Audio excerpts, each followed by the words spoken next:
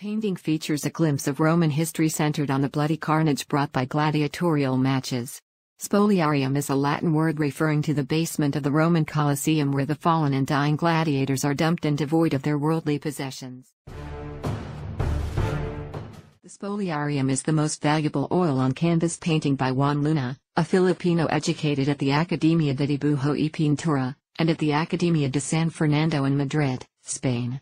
At the center of Luna's painting are fallen gladiators being dragged by Roman soldiers. The gladiators being dragged to a side depicts the Philippine situation of being suppressed and oppressed.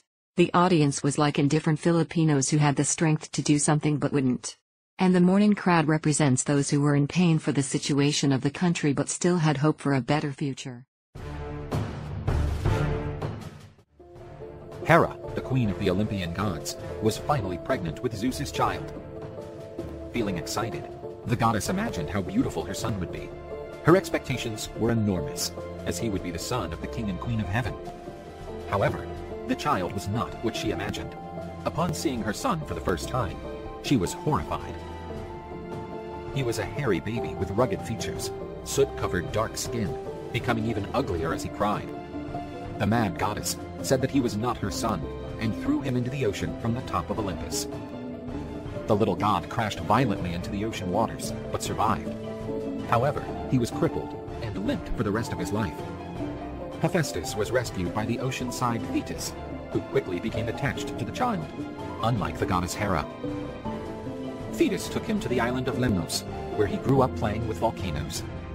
From childhood, Hephaestus developed an unparalleled skill in the art of metallurgy. Using the heat of the volcanoes, he created the most powerful weapons and the most beautiful jewelry. The god came of age and decided to return to Olympus, he had produced a beautiful golden throne for his true mother, the goddess Hera. Throughout his career, the Los Angeles-based sculptor Matthew Monahan has stimulated vibrant critical discussion. His forms, variously carved, cast, or built up from materials that range from wax and paper to bronze, suggest archaeological finds, decrepit remnants of civilizations past or future that may be regarded as lamentations or admonitions. Monahan's works have an air of quietness and distance that is intentional, they are meant to encourage contemplation.